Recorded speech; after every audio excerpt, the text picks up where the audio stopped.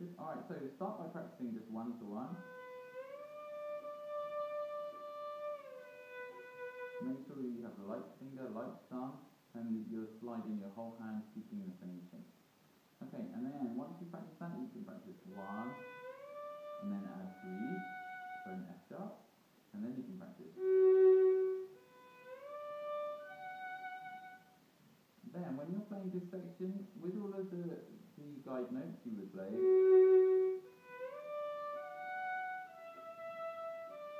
And then.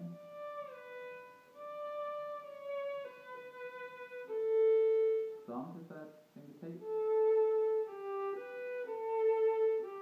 And then. And without the side note. See it?